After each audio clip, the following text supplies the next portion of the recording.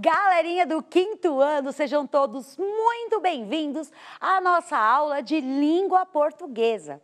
Eu sou a professora Regiane Oliveira e a aula de hoje traz uma combinação de duas palavras bem interessantes: ações e sujeitos. Agora, a dica é: o que será que isso tem a ver com a nossa escrita? Pois é, este é o assunto desta aula. Dentro da língua portuguesa, nós vamos combinar essas ações e esses sujeitos. Ou seja, precisamos entender o que eles são. Vamos lá. O título dessa aula, as ações combinadas com os sujeitos. E quando nós falamos de ações, nós nos referimos a uma classe gramatical chamada de verbos. E os sujeitos referem-se a quem pratica a ação. Vou colocar a dica aqui, ó, quem pratica, quem faz aquela ação. Nesta aula, trabalharemos com concordância verbal. Afinal, tudo o que falamos e escrevemos precisa estar de acordo, ou seja, concordando a ação, que é o verbo, e o sujeito, quem pratica ou participa da ação. A aplicação é com vocês. E aí, olha só, quando nós falamos disso, eu acabei de dar um exemplo quando nós falamos. O falar é uma ação. Se eu digo nós falamos. Agora, gente, vem cá comigo. Você conhece aquele colega que vira assim, nós vai sair? Nós vai falar? Não dá certo, né? Então, é isso que a gente precisa ter a atenção. Nós precisamos concordar exatamente essas ações. Nós não vai, nós ficou pior ainda, né? nós vai, não, não dá. Nós vamos. Por isso eu digo, nós falamos. Voltando à frase, quando nós falamos em combinar ações e sujeitos, é justamente fazer com que possamos usar a língua culta, nossa língua portuguesa, corretamente. Então vamos lá. A habilidade desta aula é F35LP07, uma sugestão de aprofundamento para todos os pros e alunos. E aqui uma dica. A crônica na íntegra será encontrada no roteiro do professor desta aula. Ou seja, meus amigos professores, se vocês quiserem compartilhar a crônica, que hoje trabalharemos trechos, ela está disponibilizada no roteiro do professor. É interessante compartilhar com todos os estudantes, certo? Concordância verbal.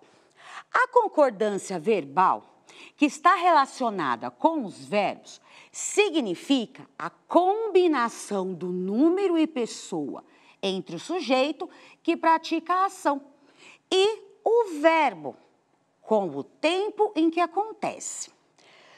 Vejamos alguns exemplos. Os alunos do quinto ano são tão inteligentes que participam das aulas diariamente.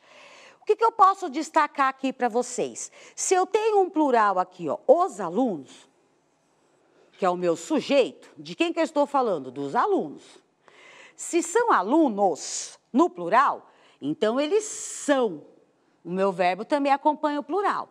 E participam, porque as minhas duas ações têm que estar relacionadas ao meu sujeito no plural. No segundo exemplo aqui embaixo, a galerinha do quinto ano é tão esperta que estuda na escola e com as aulas pelo centro de mídias. Eu escrevi isso aqui confiando, hein? Vamos lá.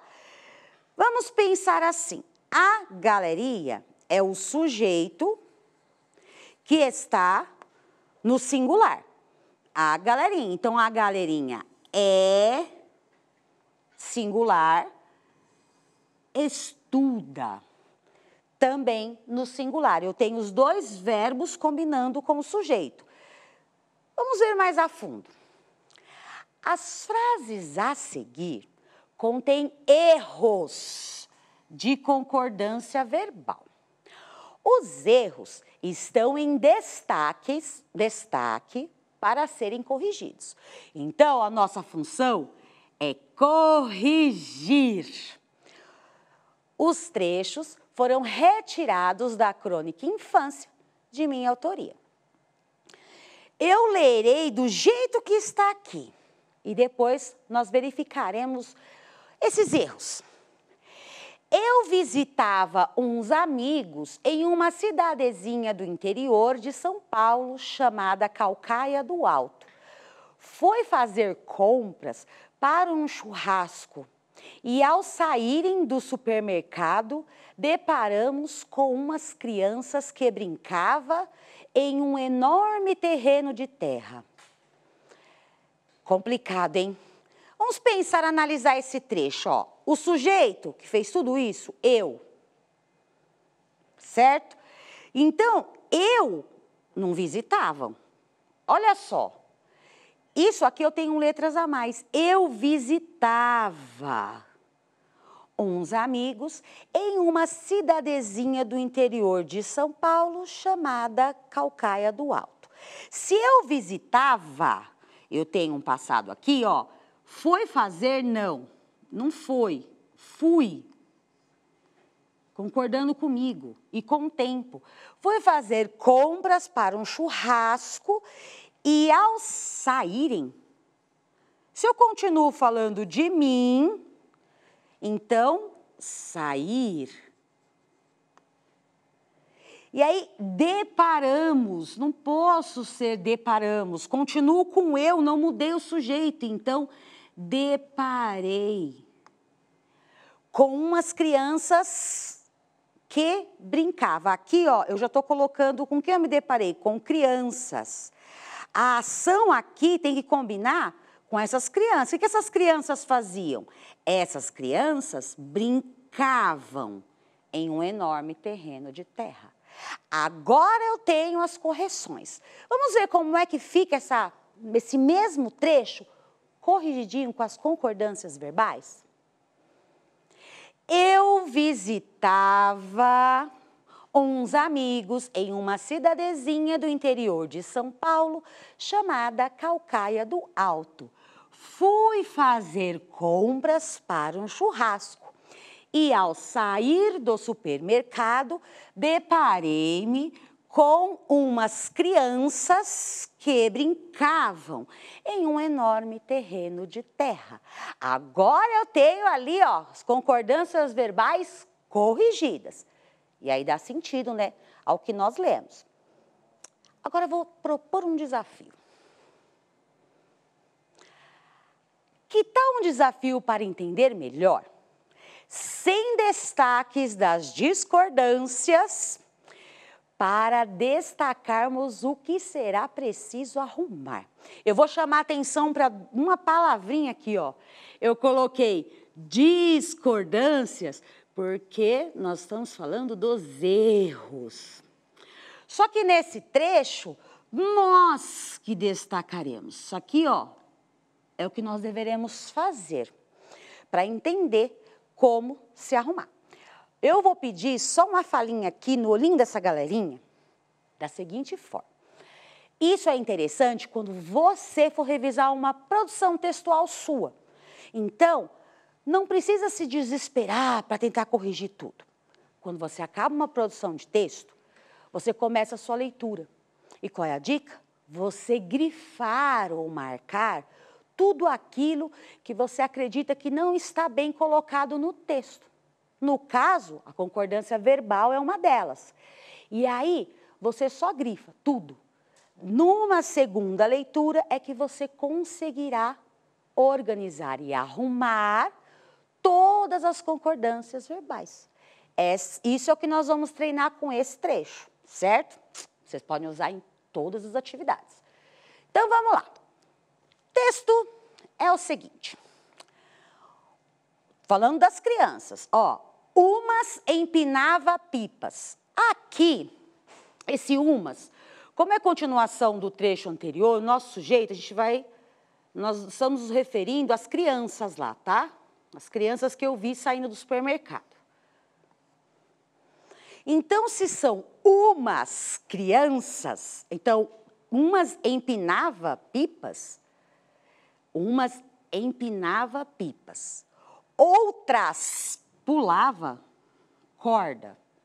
E ainda existia crianças que jogava bolinhas de gude. Tive a, a sensação de parar no tempo. Olha a atenção aqui. Quando eu coloco tive a sensação, eu tive. O meu sujeito está oculto aqui. Tive a sensação de parar no tempo. Hum. Minha infância foi na minha mente. Bateu uma vontade de brincarem também. Olha aqui que interessante, eu tenho uma marcação de sujeito no começo, que é das crianças, o meu primeiro sujeito, e aí eu mudo na minha reflexão, continuando o assunto com a minha participação. Então é isso que nós precisamos combinar, olha só. Umas crianças empinavam pipas, outras pulavam corda, e ainda existia crianças que jogavam bolinhas de gude. Eu, mudando o sujeito, ó, tive a sensação de parar no tempo. Minha infância, ela não foi, porque é passado. Então, minha infância veio na minha mente. Bateu, ó, bateu, eu concordo. Concordo com o resto da frase. Uma vontade de brincar também. Por que isso? Porque estou falando de mim. Essa foi a minha participação no final do trecho. Vou deixar aqui uma colinha para vocês reverem como ficaria este trecho. Este é o trecho corrigido, já com as palavras em destaque do que arrumamos. Continuando. Roteiro do aluno. Agora, nesse mural da galerinha, tem uma dica. Leia os trechos com atenção para você, vocês, no caso, arrumá-los, né? Então, olha só. O que, que vocês podem fazer? A dica aqui é vocês também utilizarem-se das suas próprias produções textuais. Isso é super show de se fazer. E o que aprendemos hoje? Na aula de hoje, aprendemos sobre a concordância verbal e sua importância para a compreensão de um texto por meio de atividades de análise reflexiva. Isso pode ser aprofundado. E lógico que nós temos a famosa avaliação, que é a sua participação para ajudar-nos a montarmos, a montar aulas cada vez melhores para vocês certo? Eu espero que vocês tenham gostado. Qualquer coisa, vai no repositório e veja outras aulas sobre esse assunto e se aprofunde cada vez mais. Muito obrigada, por hoje é só, até a próxima, tchau, tchau.